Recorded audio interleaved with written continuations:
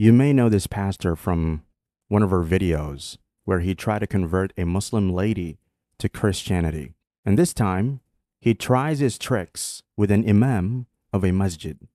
when you come and have a conversation with a Muslim or Muslims who actually practice the religion. Okay. So when you start saying things that, you know, I heard this and I saw this and I saw this, doc- listen, you have to be like a lawyer. You got to document all of your findings, mm-hmm. and then when you document all of your findings, then you come I mean, this this is make the interview. this is like one of those like It's fa- like, like, impromptu, like universal. kind of knowledge Yeah. kind of thing. But Pastor Richard has many videos where he interviews Muslims, and most of the time, he deals with laymen and presents them with the same old rehashed non arguments that are the beads of the Christian rosary of fallacy.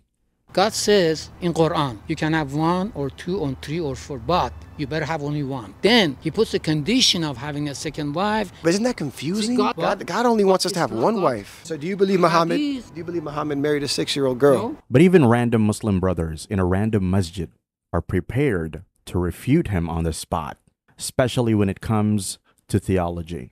I work for God because I love Him, not because I don't know if I'm going to heaven or not. Same thing. So most thing most of us. most of my Muslim friends, No, no, they no. work and they. I said, "You're going to go to heaven?" I don't know. If I do a bunch of good, if I do good works, if because you because you said it earlier, if I work my way to heaven, I can potentially make it. Correct. That is fear, confusion, deception. In my religion, and it's not even a religion, in my knowing my relationship with God, He told me I'm forgiven by the blood of someone who was perfect, by out of mercy, out of You can do whatever- compassion. You can live the, your life wherever you want, wherever, however you want, and you'll still go to heaven. That's what you're saying. No, no, I follow Jesus. Follow God. You believe in Jesus, yes, I believe. and you believe He's I He's love God. him. If you don't, you are not Muslim. You believe He's God too. Huh? You, have a, you believe in your heart He's God. That that's stupid. That is only with humble everyday Muslims. And the pastor, who claims to be filled with the Holy Spirit, couldn't even make a dent in their faith. And that is precisely why publishing the discussion raw would be detrimental to his audience. And that's why he has to add commentary filled with rehashed nonsense to stay relevant. Do you know where the word Allah comes from? It means God. It's to submit. But, but have you studied the origins of it back to the Mecca? What do you, what do you mean? What are you saying? Like, have you studied the origins of like the word Allah? Hubal was a pagan deity worshipped in pre Islamic Arabia, particularly among the Quraysh tribe in Mecca. Hubal was one of the chief idols housed in the Kaaba. One of the many examples of him muddying the waters, and a proof that he achieved nothing in the discussion alone. Of course, every single point he brings, in addition to being regurgitated, is nonsensical and has been refuted many times. But like we said, this is only what happened with random brothers at a mosque construction site. And it gets a lot more embarrassing for Richard when he sits down with an actual imam who clearly does not play around when it comes to nonsense. and what are you going to do with this this interview? Uh, post it on our social media. And you're okay with that? Are you going to edit it? I, I we want to start with an end in mind.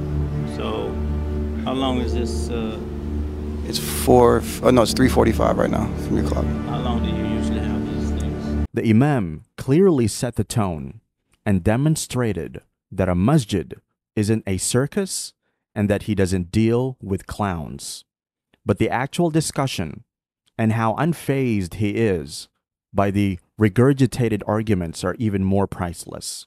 From what I, I've actually watched Muslim documentaries, not like Christian, and and it's a fact that from according to Islam and history of Islam, So you tell That he- us now about Islam.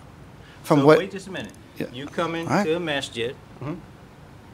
You're teaching us Islam. from what I've learned. Okay, so what what you have to uh, you have to do from from Jump Street, you have to make sure that all of your I's are dotted and all your T's are crossed.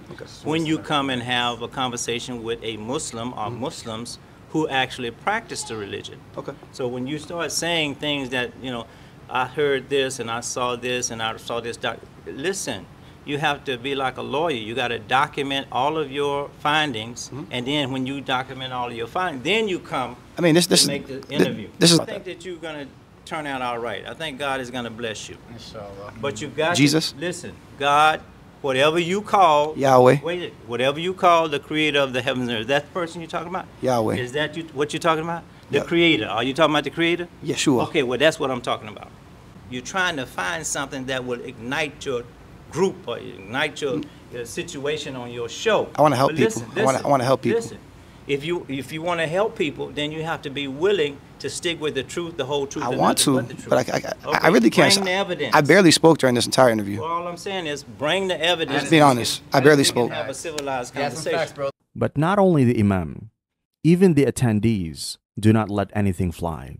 If that was the case, then we would be misguided. From the Torah, from From the the Torah, listen, that Torah is not what was revealed. By the time we got that message, you really believe that King James and all of his friends and everybody else put those remixes together. That's the same content that was revealed to Prophet Moses. Prophet Jesus, where's the gospel according to Jesus? Luke didn't even know Jesus. But- but- he says that in the Bible. How was somebody who never laid eyes on Prophet Jesus And the whole discussion can be summed up by this one line from the Imam. I want to bring this to a close. I don't want to. I really, you know, I, I don't want to waste your time, and we don't want you all to waste our time. We, we appreciate you targeting us uh, for this uh, interview, um, but I think that uh, the, I would invite you back again. Uh, but You gotta I have your facts straight, bro. Of course, and to no surprise, after achieving absolutely nothing except demonstrating the superiority and knowledge of Muslims, Richard spends one hour debriefing the discussion to make it appear like it went his way, despite the obvious. So I'm gonna break down different parts of this video. I have my notes right here. But what is perhaps the most problematic part of Richard Lorenzo Jr.'s content about Islam is that, not unlike many Christians, he has no problem sharing completely fake news just because it makes Christianity look good. This example alone is a testimony of how Christians, like Richard, are desperately using every possible trick they can to make it look like Christianity is still relevant. But unfortunately for them, no amount of damage control can replace an entire civilization turning its back to their religion. May Allah guide Pastor Richard to Islam.